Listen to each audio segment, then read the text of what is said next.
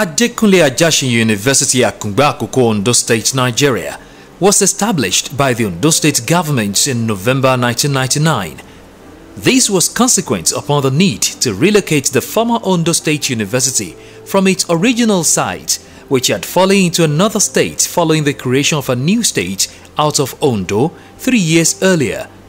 Thus, at creation, the university did not have the privilege of the painstaking planning, infrastructure, equipment, and tools needed for effective takeoff.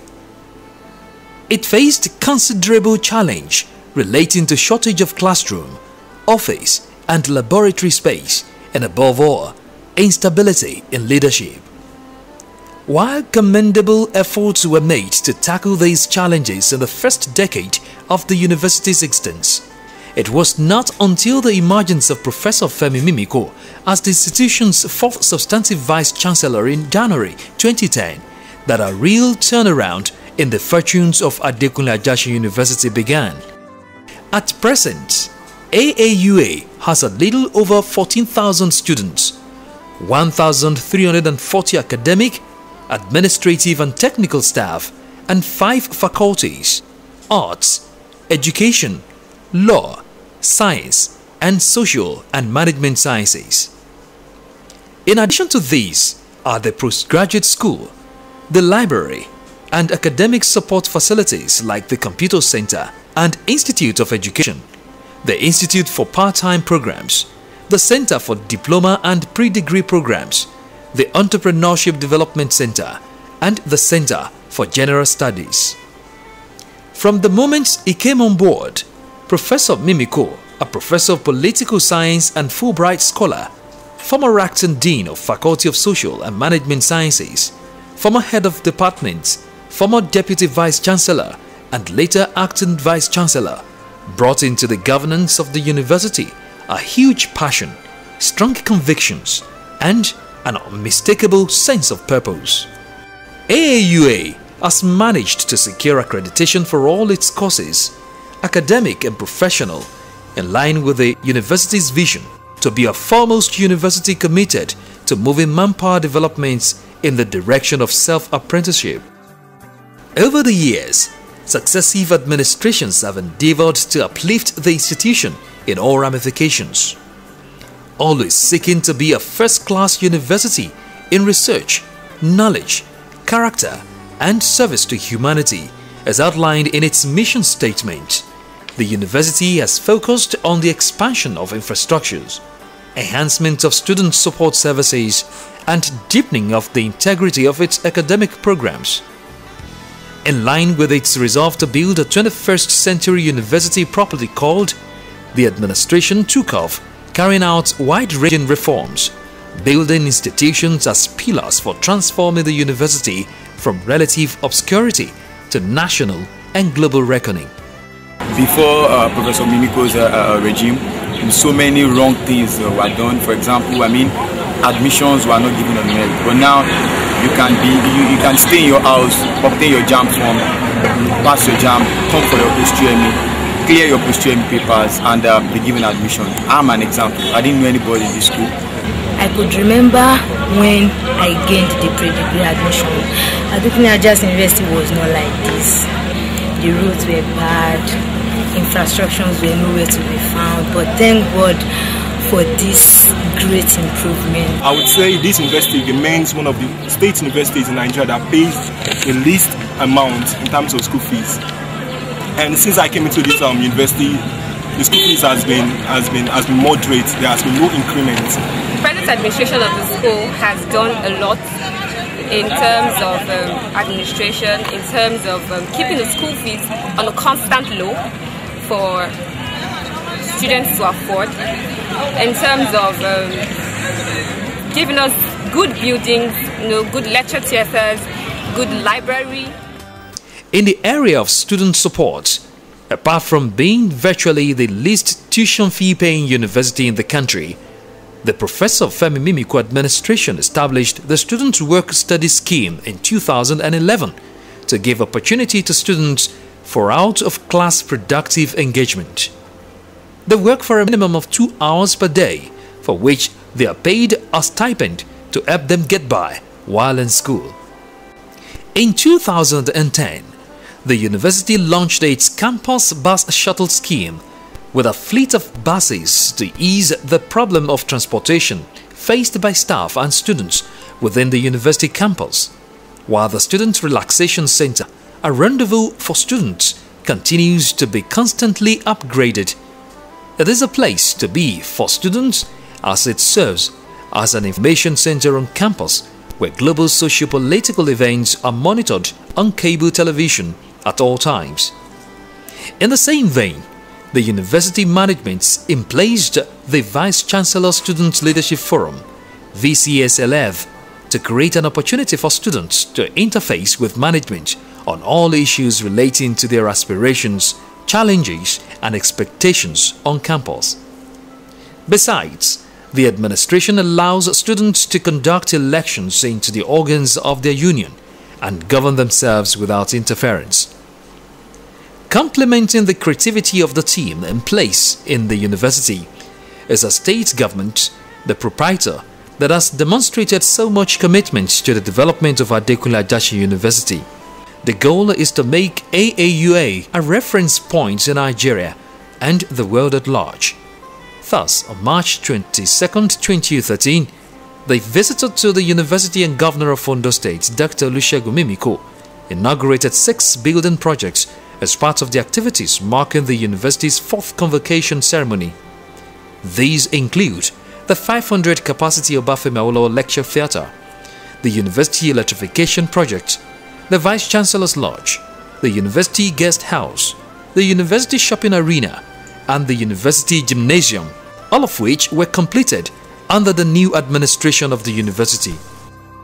Between 2009 to 2013, AAUA executed over 60 infrastructural projects to tackle the challenge of shortage of classroom, office, and laboratory space. Indeed, the number of physical projects delivered in the past four years is much more than the university executed in its first 10 years of existence.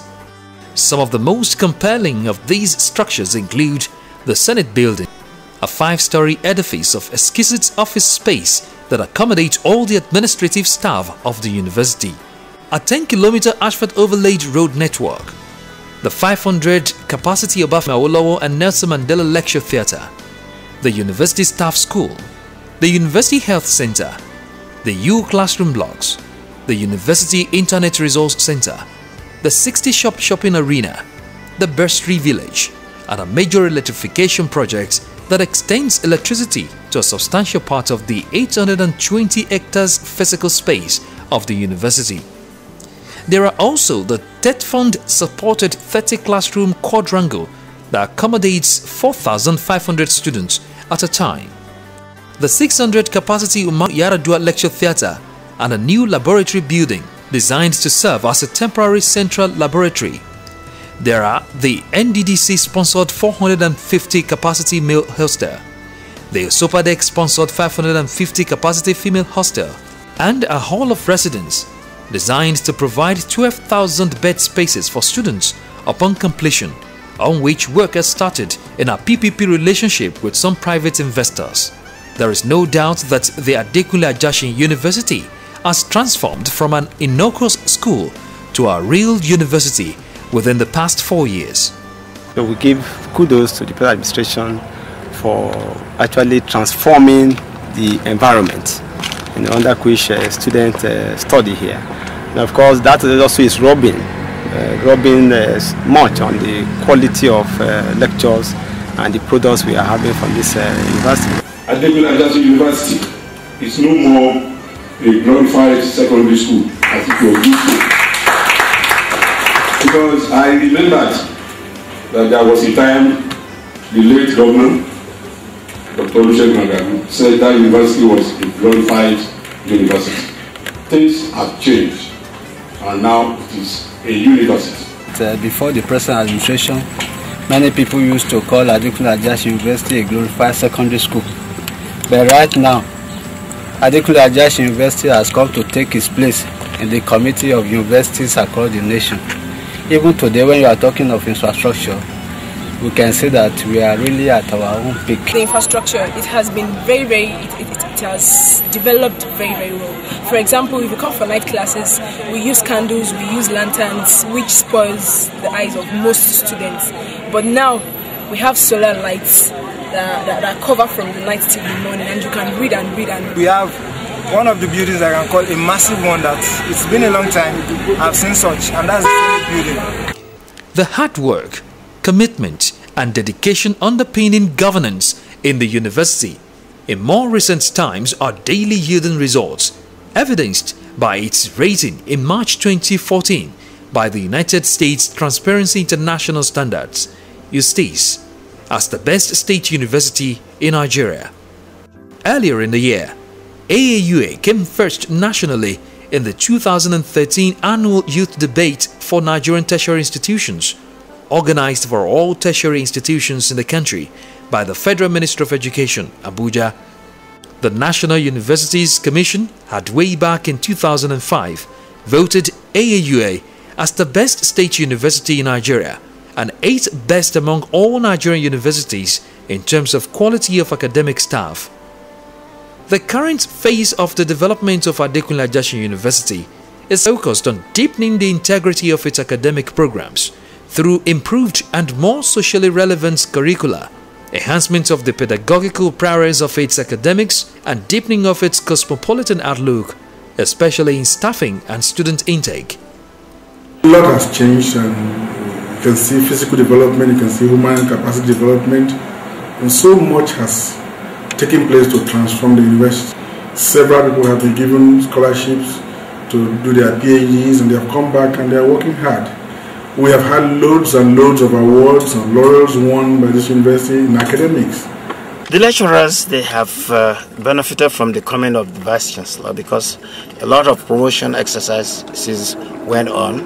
Uh, there are others who went on Fulbright and there are others who attended international conferences in terms of uh, the studentship we have produced in the last four years, uh, obviously go to law school, ICAN exams, our students are doing very well.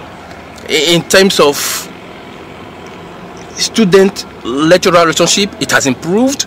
You, you hear cases now, you don't you no longer hear cases of sexual harassment, extortion, sales of handout. These have these things have stopped. Thus, apart from the University Advancement Office, which provides the broad platform for coordinating global support to the university. The university also established the University Advancement Board, bringing into the fold men and women of integrity in the larger society to leverage on their exposure, experience, and positions in life to mobilize funds and opportunities for the university. Other institutes and centers were also floated Amongst these are the AAUA Leadership Institute for Public Policy and Sustainable Development, the Women's Studies and Development Center, the Ajasin University Theatre, and the Teaching and Learning Center. The Linkage and International Programs Office was reconfigured to drive the university's commitment to institutional networking and consummating academic exchange programs with sister universities and sundry funding agencies across the world.